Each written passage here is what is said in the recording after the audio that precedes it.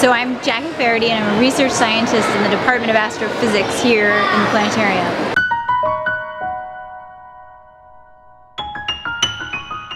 Manhattan Henge has been going on for as long as the city has been gridded, which was since about the mid-1800s. So as soon as the city became a grid, this event started to happen where the cross streets, twice a year, we get the sun setting straight down between the buildings. Oh wow. So the director of the planetarium here, Neil deGrasse Tyson, whose office is also just upstairs, he noticed the two days of the year where the sun was setting perfectly between the buildings and started to promote it starting in about 2001. People caught on and got really excited about it and a number of us astronomers here also started to get really excited about talking to people about it, going to places to watch it.